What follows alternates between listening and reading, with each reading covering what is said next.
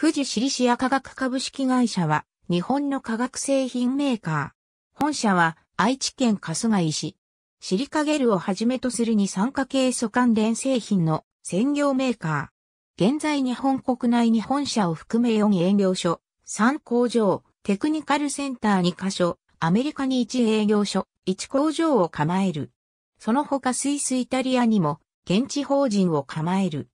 同社はシリカ専業の化学製品メーカーでありながら、プロ野球とのつながりが深く、プロ野球で使われる木製バット用の乾燥剤、収納ケースなどを手掛けている。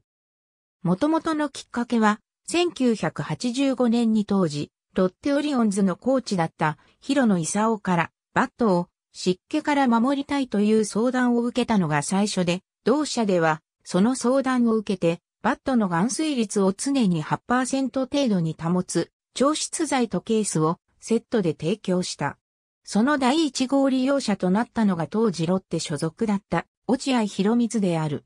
落合が同年と翌1986年に2年連続でパリーグの三冠王を獲得したことから一気にその有用性がプロ野球界で広まったと言われる。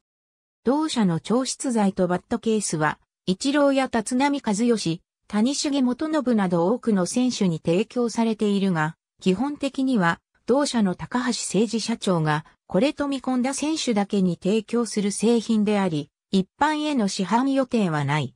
過去にもスポーツ用品メーカーから商品化の打診を受けたことがあるが、それらはすべて断っているとのこと。ありがとうございます。